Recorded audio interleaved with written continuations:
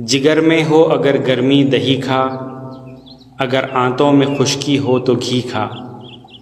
दमे में ये गज़ा बेशक है अच्छी, खटाई छोड़ खा दरिया की मच्छी। ज़्यादा अगर दिमागी है तेरा काम तो खा ले शहद के हमराह बादाम। जहाँ तक काम चलता हो गज़ा से, वहाँ तक चाहिए बचना दवा से।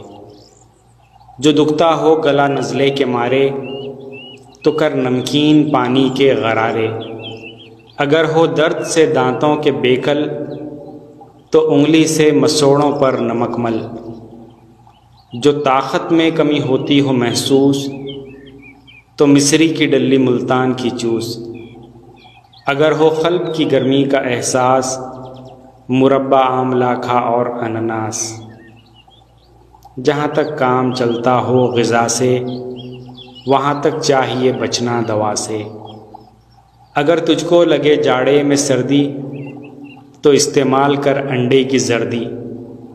जिगर के बल पे है इंसान जीता, अगर जोफ़े जिगर है खा पपीता अगर खूँ कम बने बलगम ज़्यादा तो खा गाजर चने शलगम ज़्यादा।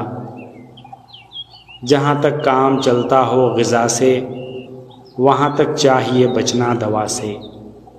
अगर महसूस हो मैदे में गिरानी तो पीले सौंफ या अदरक का पानी। थकन से हों अगर अजलात ढीले तो फ़ौर दूध गर्मा गर्म पी ले। जहाँ तक काम चलता हो गज़ा से, वहाँ तक चाहिए बचना दवा से। जो बदहज़मी में तू चाहे इफाक़ा तो दो एक वक्त का कर ले तुफाक़ा